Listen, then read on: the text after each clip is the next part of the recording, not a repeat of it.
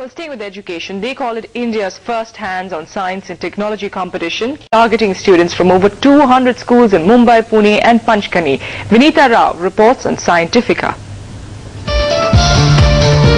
Glue, paper, scissors and over a hundred kids. What could have been every parent's nightmare turned out to be an exercise in creativity and a hands-on science class at Scientifica 2007, only even better.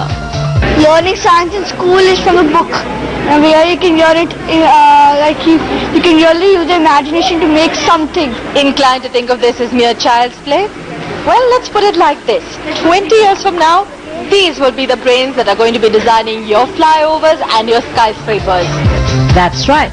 This competition designed to challenge a child to think and create with the use of objects that you and I would discard as waste was organized by a Bombay-based experiential learning solutions company.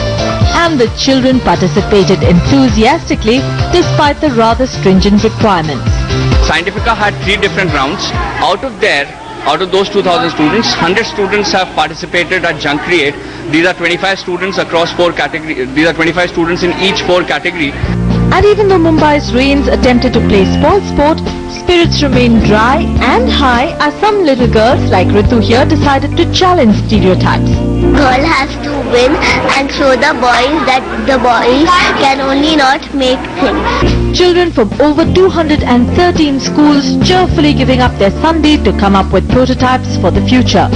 And while some kids came up ahead on the marks, the eventual winner is science, which is suddenly even more popular, with these kids at least.